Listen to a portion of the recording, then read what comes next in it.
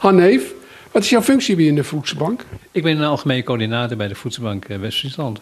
Is dat een directeursfunctie? Nee, het is geen directeursfunctie. We hebben een bestuurs, uh, hebben we.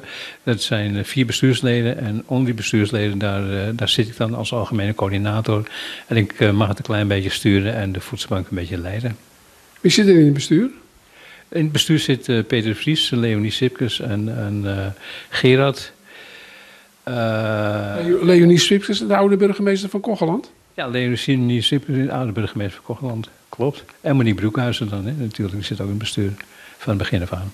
Ja.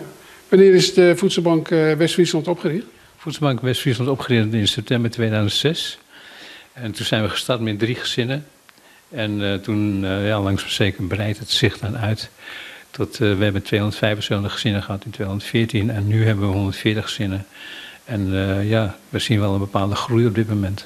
Wanneer hadden jullie toen ook een stijging? Was dat in verband met de kredietcrisis? Dat was ook tijdens de crisis kregen we dus uh, heel veel nieuwe aanmeldingen. En uh, toen was die enorme stijging. En gelukkig is dat weer allemaal teruggedraaid. En teruggegaan naar 100, 110. En we zijn dit jaar begonnen met 110 gezinnen. En nu staan we op 140 gezinnen.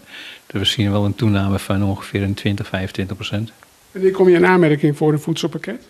Je komt in aanmerking voor een voedselpakket als je aan de normen van de Voedselbank Nederland voldoet. En dat wil zeggen. Wat is dat? Dat wil zeggen dat je dan eigenlijk een basisbedrag hebt van uh, 190 euro. En dan komt er per persoon komt er dan 110 euro bij als uh, leefgeld zijn. Dus één persoon 300 euro. Het restant van de gezinnen die krijgen worden 110 euro bij berekend. Heb je een vader, moeder met twee kinderen als voorbeeld zijnde, dan heb je dan 300 euro plus 330 euro. Kom je op 630 euro leefgeld. En het leefgeld houdt dus in dat, uh, dat de inkomsten en de uitgaven die uh, gedaan zijn van elkaar afgetrokken zijn aan dit als leefgeld overhoudt. En daar moet je dan eigenlijk voor de rest alles van doen. Als je dan net boven die grens zit en je komt daar niet in aanmerking voor uh, de voedselbank, ja. is dat wel eens een schrijnende gesprekken dan die jullie houden met mensen die in aanmerking willen komen voor een voedselpakket? Ja, er zijn zeker schrijnende gesprekken. We houden zelf de intakegesprekken allemaal. we, leveren, we doen uh, niets naar uh, maatschappelijke organisaties. Dus alles wat, wat, wat zich aanmeldt, daar doen we zelf een intakegesprek mee. En natuurlijk kom je hele schrijnende gevallen tegen. Je komt mensen tegen die, die ernstig ziek zijn, het niet meer kunnen betalen. Je komt mensen tegen die failliet gegaan zijn. En uh, iemand die in de armoede zit, ja, die, die, die komt toch door een of andere manier, is hij in de armoede terechtgekomen. En dat is toch heel vaak op een schrijnende manier. Uh, de pakketten worden samengesteld door producten. Hoe is de aanlevering van producten? Is het op, de, het ogenblik toch wel stijgend of dalend? Nee, dat is uh, dalend natuurlijk. Hè. We zijn een hele grote leverancier zijn we kwijtgeraakt. Deen is, gestopt, die was een heel grote leverancier van de voedselbank. Uh, Albert Heijn heeft het niet overgenomen. Die gaat alles naar het distributiecentrum in Amsterdam toe. Dus we, hebben, we zijn nu wel hard bezig om weer nieuwe leveranciers te werven voor ons. Maar het is moeilijk. Want ook in deze periode doen alle bedrijven doen ook voorzichtig en kalm aan. In deze energiecrisis zijn ze ook bezig om toch alle producten die ze dus leveren, om die toch zelf eerst kwijt te kunnen raken. Er zijn ook een heleboel bloemkoolkwekers hier in West-Friesland. Krijgen jullie daar wel eens een bloemkooltje van? Nou, niet zoveel. We hebben een hele grote leverancier als Hessing zijnde. Hessing is een grote groenteleverancier. En daar kunnen we elke vrijdag heel veel groenten ophalen, gelukkig.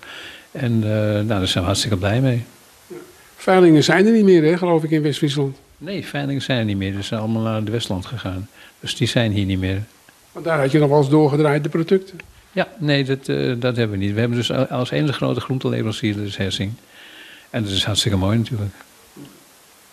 Dan uh, zie ik een aantal vrijwilligers, die pakken ook in. hoeveel vrijwilligers hebben jullie bij, bij de Voedselbank?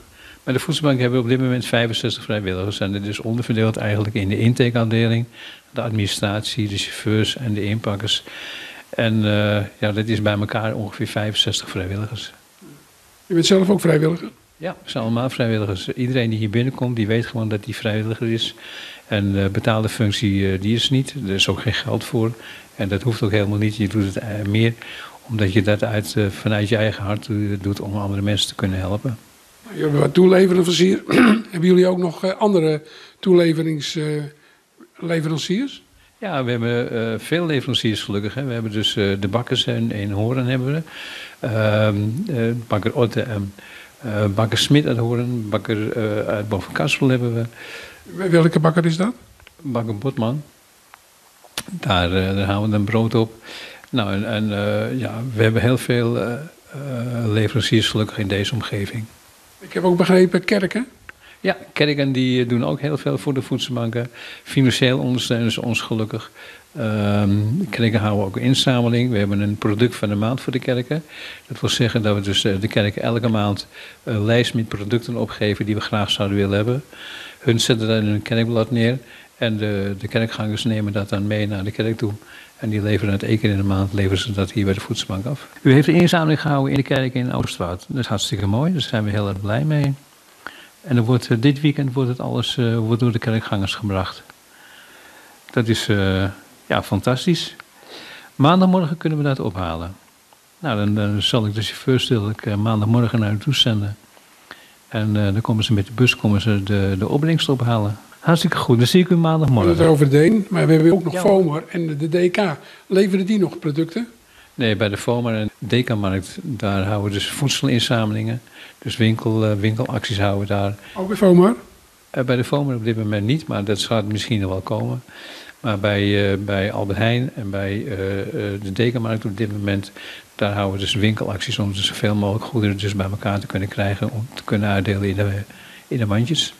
Hebben jullie ook mensen die dan acquisitie doet bij zulke bedrijven? Eh, ja, we hebben ook mensen die, eh, die acquisitie doen, die- die, eh, die zijn ook heel hard daarmee bezig. En dat levert wel zijn resultaten op natuurlijk. Ja, gelukkig. Krijgen jullie ook nog wel eens aangeleverd door particulieren? Ja, dus er komen, uh, dagelijks komen particulieren hier aan. Die komen met, met hoeveelheden die ze gekocht hebben. En vooral in deze energietijd. Hè. Er zijn heel veel mensen die zeggen van ik heb 190 euro krijg ik terug van energietoeslag. Maar dat geld heb ik niet nodig. En daar kopen ze dan spullen voor en dat komen ze dan inleveren. Dus dat, dat, dat loopt gelukkig nu heel erg mooi. En daar zijn we hartstikke blij mee. Jullie verwachten nog een stijging? Ja, we verwachten zeker nog een stijging. En vooral in deze november en decembermaand verwachten we dus dat, eh, dat er meer klanten gaan komen. Dat is ook logisch, hè. Dus ook meer, er is ook meer animo van de mensen om dus naar voedselbank te gaan. Vroeger had je heel veel schaamte. Die schaamte is gelukkig een klein beetje weggeëpt. men, eh, eh, men vindt het nog wel heel vervelend als je naar de voedselbank toe moet. Maar we kunnen mensen helpen die het ook echt nodig hebben. Je hebt een aantal afleverpunten ook. Waar allemaal? We hebben een afleverpunt in Grotebroek, eentje in Hogewoud en eentje in Medeblik. En dan hier het hoofdkantoor in Hoorn. Dat hebben we ook bewust gedaan, omdat die mensen die in die omgeving wonen, dat die niet naar de voedselbank in Hoorn hoeven te komen. Dat we dus, maar dat we dus die daar bij die uitleverpunten eh, het voeds- voedselpakket kunnen afgeven. Waar is het in Medeblik? In Medeblik is het het ABC in de kerk. Daar wordt dus het eh, voedsel... ABC in de kerk, waar? In- Op de Almereweg in, eh, in Medeblik.